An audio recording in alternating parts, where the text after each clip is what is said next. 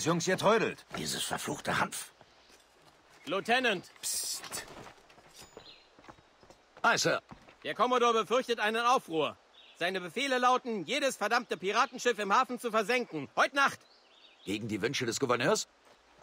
Das ist ein direkter Befehl, Soldat. Geht auf der gestrandeten Galeone in Stellung und wartet auf die Befehle des Commodores. Ist das klar? Aye, Sir. Der hinterhältige Bastard.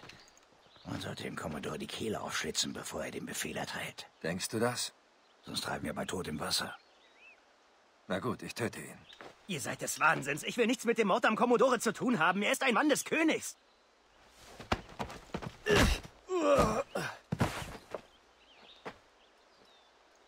Wir dürfen nichts riskieren. Na los, ich werde auf dich warten.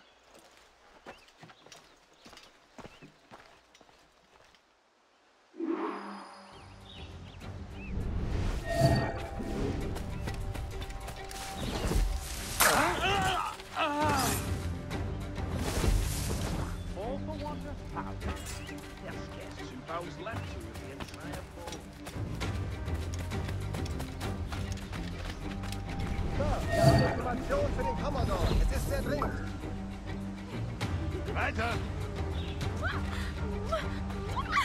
Viel böses Blut zwischen den beiden, Rogers und Chamberlain. Wo ist das Problem? Der Commodore hält nicht viel von Zivilisten, glaube ich. Und es geht das Gerücht um, dass Rogers eine Art Jakobiner ist. Oder schlimmer noch, katholisch. Ach, ach, ach, da kann ich mir Schlimmeres vorstellen. Und die beiden Männer schon.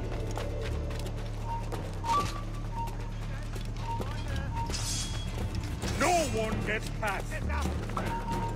Stay! Kommodore hat eine Aufgabe für euch.